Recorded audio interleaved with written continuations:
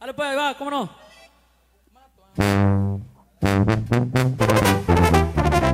Mato a muy temprana edad, por eso vivió tomadón. Luego superó su trauma, le entró duro a los chingazos. Ahora nadie lo detiene. Dicen que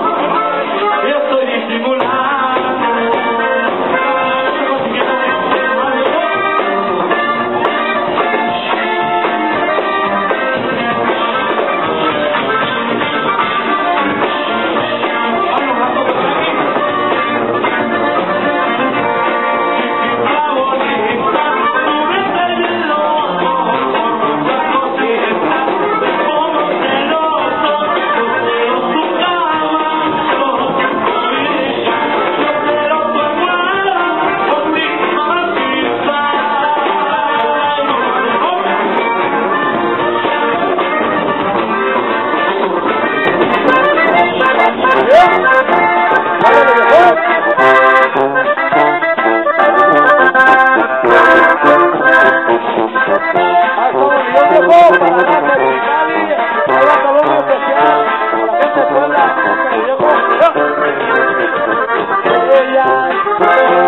la